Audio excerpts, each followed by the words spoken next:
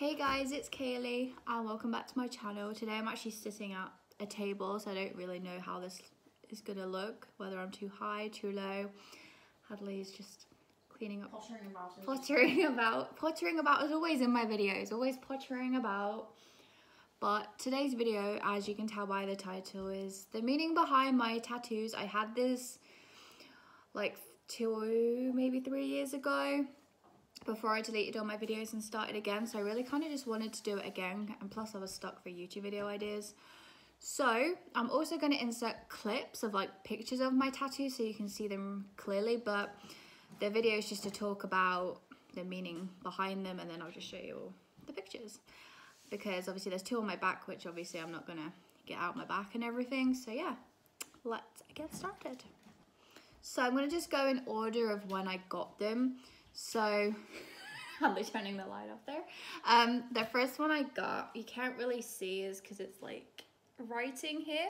And it says Know Your Own Beauty. And I think I got that one in May 2019. And Sinn Sage wrote it, my favourite porn star, um, I literally just love it so much. Like, it has so much meaning behind it because, I don't know, I think it's just to remind me when I'm like feeling like shit or something. Like Sinn always tells me just to look at it all the time, which I do, and I just love that it's in her writing, and I just love it so much. And I think it was a perfect first choice tattoo for me, and I just I'm obsessed with it. I still am three years later. And the second tattoo I got, I'm pretty sure it was this one here. Again, you can't really see, that's why I'm inserting pictures at the end. It says granddad on it because my granddad meant a lot to me and he passed away in 2013. So it'll be nine years this year, which is absolutely crazy. And tattoo number three was this one here. This is the one I get the most compliments on. It's like this infinity symbol with like, it's obviously like multicolored. So it's like my pride tattoo because I'd wanted one of those for such a long time. And I'd always wanted it on my wrist. So I'm very happy with that. And then my fourth one was this one which is like a theatre symbol to show my love of like theatre, musical theatre, because obviously I love being on stage and I love watching musicals and everything. So that was the meaning behind that one. And obviously I can't show you, I'm not to take my jumper off and everything to show you the other two. Um, but I have a dream catcher on my right shoulder here.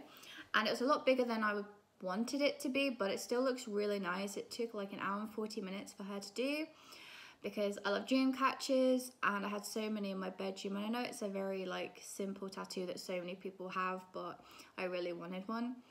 And then I have another one on this side. It's only really small. I wish I'd done it a little bit bigger which is of a cat. That's the tattoo that hurt the least. I was just like she said she'd finish and I was like what to show obviously my love of cats because I crazy cat person like I just love them so much. So yeah I currently have six tattoos and I think my favorite is obviously probably my first one and the pride one. Um I don't know what else I want tattooed on me. I just know that I just want like at least another two or three. So if anyone has any suggestions then please let me know so now I will just insert pictures of all the tattoos so you guys can get a clearer look of them. Bye! So this is the first tattoo and I really just love it as I said. I love the little heart at the end. My pride tattoo, still my absolute favourite and my favourite picture. the granddad tattoo, that was right after I actually got the tattoo. My theatre tattoo, it did kind of hurt when she did the shading, but I love it.